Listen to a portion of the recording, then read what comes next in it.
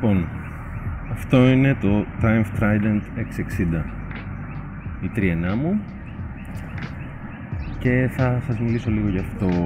Λοιπόν τα specs δεν τα ξέρω όλα ακριβώς για να μην ειλικρινείς απ' έξω εννοώ. Προφανώς θα τα είχα ψάξει όταν την πήρα.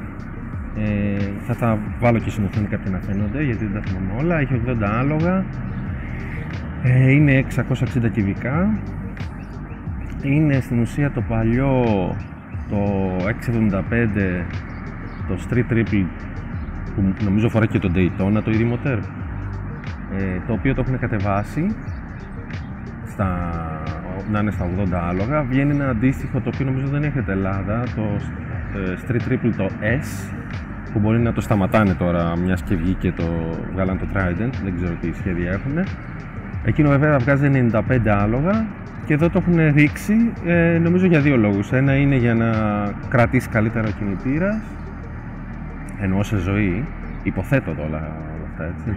Και ο άλλος λόγος είναι γιατί θέλουν να πάνε το service στις 16.000 χιλιόμετρα ή στο έτος. Ε, εγώ που έκανα το πρώτο service το οποίο είναι γύρω στα 800 χιλιόμετρα, αν θυμάμαι καλά, μου είπαν και από την Triumph στον Κόντι ότι καλό είναι να κάνουμε το service των αδειών κάθε 8.000 χιλιόμετρα. Μιλώντας για τα ελληνικά standards, εννοώντας θερμοκρασίες, δρόμοι κτλ. Φρένα Nissan μπρος πίσω, ε, δεν θυμάμαι τώρα διάμετρος, πλάκες και τέτοια για να είμαι ειλικρινής. Διπλά είναι τα φρένα, διπλή δίσκη μπροστά, μονός πίσω. LED φώτα παντού. Έχει ε, να κλείνουν μόνοι τους οι διακόπτες στο flash έχει σώα μπροστά που δεν είναι ρυθμιζόμενα και νομίζω και σώα το πίσω που είναι ρυθμιζόμενο με preload. Ε, μια χαρά μου φαίνεται να έρθει. Σε μένα μου φαίνεται λίγο σκληρό πολύ λίγο. Αλλά ίσως είναι και για τα κιλά μου. Το έχουμε ρυθμίσει βέβαια λίγο στο βάρος μου αλλά εντάξει οι δρόμοι μας είναι και άθλοι δεν, δεν ξέρω αν είναι κριτήριο η, η ελληνική δρόμη. Πίσω κρατιέται η πινακίδα από αυτό το μονόμπρατσο. Ε, σε κάποιους αρέσει, σε κάποιους δεν αρέσει. Εμένα μου αρέσει πολύ γιατί είναι καθαρή πίσω η ουρά τη ε, μηχανής, η θέση. Και αν κόβει λάσπες, το ερώτημα είναι ότι αν κόβει λάσπες λοιπόν ότι όπως πάνε εδώ οι, τα νερά σκάνε εδώ κάπου οπότε δεν σου έρχονται πίσω είναι καθαρό ε, είναι, η τιμή της είναι στα 7.990 χωρίς αυτό το χρώμα. Και το είναι 200 ευρώ και βγαίνει σε άσπρο, μαύρο, μαύρο ματ με το ίδιο λογότυπο έτσι στο τάγκ και, και το γυαλιστερό το ασημί που βλέπουμε εδώ. Το deposito είναι ε, πλαστικό αυτό εδώ. Από κάτω κρύβει ένα μεταλλικό προφανώς deposito. Γενικά το, το, το ελίωμα της μηχανής, το φινίρισμα της μηχανής είναι πάρα πολύ ωραίο. Δεν μοιάζει για 8.000 ευρώ μηχανή. Και έχω δει την, την αντίστοιχη αν θες τιμή της Yamaha το MT7 και το CB το X50 το R. Ε, δεν μοιάζουν τόσο καλές. Ποιοτικά εννοώ έτσι. Το MT σίγουρα είναι, μοιάζει εντελώς πλαστικουριά. Παρότι και αυτό όπως είπα έχει πλαστικά κομμάτια μεγάλα. Ε, και το CB είναι πιο κοντά σε αυτήν εδώ την ποιότητα αλλά δεν ξέρω, κάτι δεν μ' άρεσε όταν το είχα δει από κοντά. Ειδικά δεν μ' άρεσε καθόλου το πίσω κομμάτι, η ουρά που βγαίνει, που έχει δύο μεταλλικά πτερίγια. Τέλος πάντων, είναι προσωπικό. Κάτι το βάλουμε λίγο μπροστά. Να το ακούσουμε. Για όσους δεν ξέρουν, Triumph σημαίνει συμπλέκτης και ignition μαζί.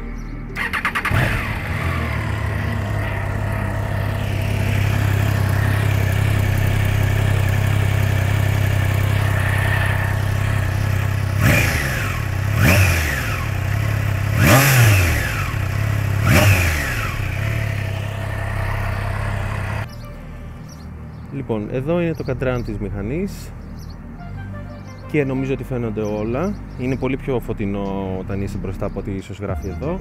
Λοιπόν, εδώ που βρισκόμαστε τώρα δείχνει τη θερμοκρασία του κινητήρα, η ταχύτητα του κυβωτίου, η ταχύτητα που κινείσαι, στροφόμετρο, βενζίνη.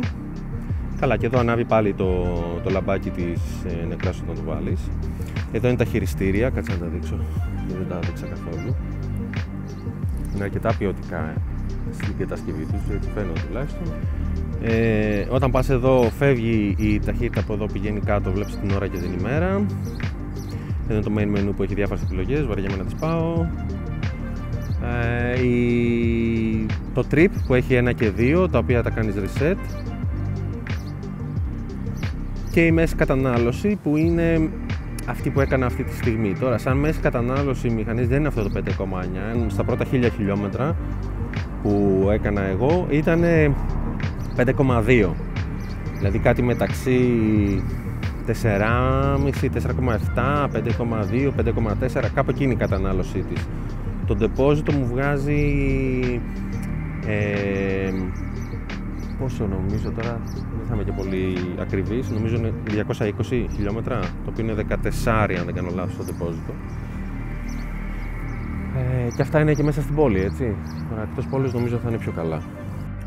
Λοιπόν, σαν extras έχω βάλει ε, αυτό εδώ που είναι, μπορεί να είναι περίεργο, αλλά δεν έχει για να κρατιέται ο αναβάτης ο πίσω. Όχι ότι παίρνω πολλές φορές εγώ, αλλά είπα: OK, ας το βάλω. Αλλιώς, αν θέλει, βάζει τα χέρια του εδώ ή κρατιέται από αυτό. Ή από τον, προφανώς από τον οδηγό. Ε, απλά νομίζω ότι βάζοντάς το ε, περιέργως έδωσε έναν όγκο λίγο, την έκανε λίγο πιο μεγάλη τη μηχανή. Δεν το βάλα γι' αυτό βέβαια, απλά λέω αφού το βάλα το διαπίστωσα. Έχω βάλει engine guard, το fly screen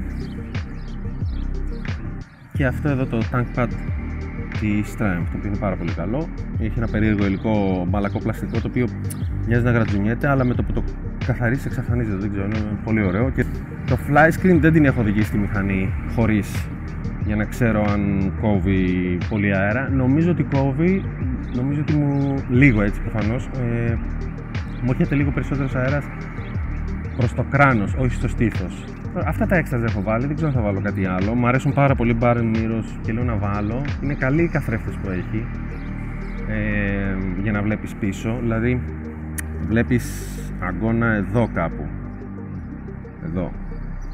Οπότε όλο αυτό το κομμάτι του καθρέφτη είναι καθαρό για να κοιτάξεις πίσω.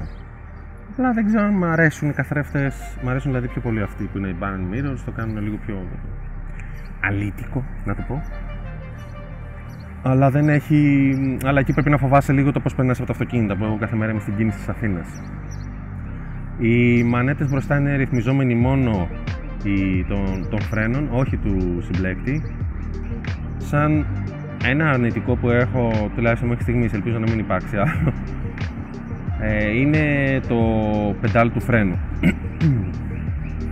το οποίο είναι αυτό εδώ. Αυτό εδώ. Είναι μικρούλι και μοιάζει ψευτικούλι, για να μην ειλικρινείς. Δεν είναι σαν αυτά εδώ. Ε, άλλο ένα, αν θέλω να γίνω λίγο πιο περίεργος, είναι δεν καταλαβαίνω γιατί αυτό εδώ είναι γυαλιστερό, που είναι το μοναδικό γυαλιστερό τμήμα της μηχανής πάνω στη μηχανή. Δηλαδή, ούτε καν αυτά δεν είναι, είναι mat και αυτό είναι mat, δηλαδή γιατί να μην ήταν mat. Τώρα εντάξει, μου πεις το βάφει αν θες, αλλά μιλάω για πώς βγαίνει από το εργοστάσιο η μηχανή. Αυτά λοιπόν, πάμε μια βόλτα.